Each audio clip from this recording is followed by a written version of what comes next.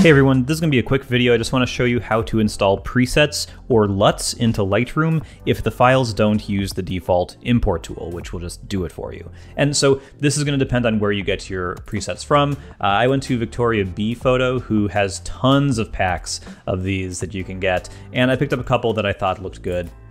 And I've got them all in here. There's this natural pack that I'm going to show you today. There's five in there. And so what do you do, right? You go to Lightroom, you've got this setup, and then your presets are down here. If you click into that, you can see the ones that Adobe ships with Lightroom, but I want to add my own. So you would expect you go to File and then Import Profiles and Presets. You go to Downloads, LUTs, Natural, and oh, I can't actually click those. Well, what if I just select the folder? Will it import them from the folder? Hmm, no. Okay, so what do I do? What you have to do is you actually have to import these as if they were photos themselves. And so we're gonna hit the plus, we're gonna go to desktop again, LUTs, natural, and now I can import them because they're DNGs, they're technically raw photos. So here they all are, there's five of them, I'm just gonna import. And now they're in my collection. And let me go back to see all photos, just so I see my photo there as well. And so I've got B natural one, two, three, four, five. And you can see they all look a little different based on the uh, settings. And so what do you do to get this into your presets? So I have the photo selected, I go back to my edit thing, hit presets, and then you can hit the three dots up here to say create preset.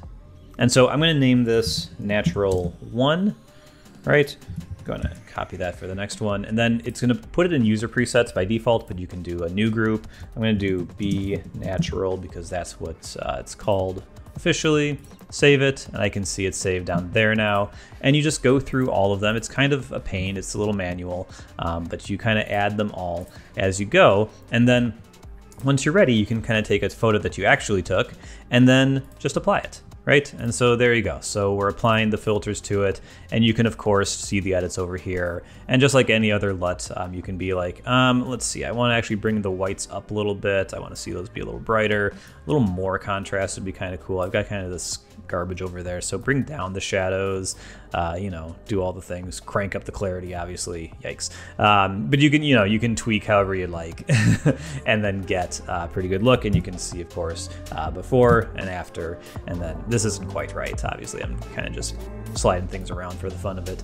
But yeah, that's how it works in Lightroom. This works on mobile as well. So if you import them into Lightroom from your mobile device, you can still hit those three dots in the in the corner of any photo, and then you can add the preset. And these sync across your devices. So that's really nice. And that's how you get them into Lightroom if they can't just be imported with the default tool.